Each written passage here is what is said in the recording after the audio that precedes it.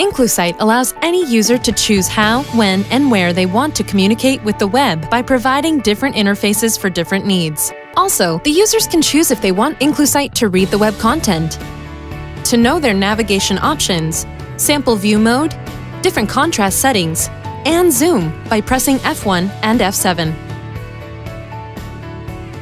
Once the user chooses the interface of preference and finishes their configuration process, Inclusite structures the same web in squares and numbers, so the user can easily navigate the content using any standard keyboard.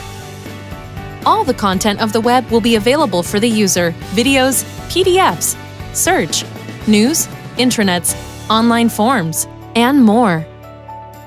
This demo shows a user navigating with the keyboard interface and accessing the personal information at My HealthVet website. The user presses the number of the content of preference and easily navigates without the need of any assistive technology. Selected option 1 Main menu 1 Home 2 Pharmacy 1 Pharmacy 2. Appointments. 3.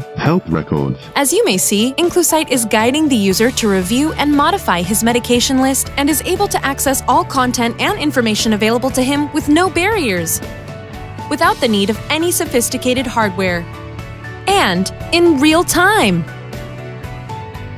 Inclusite is the internet for the people. It's the same web for all.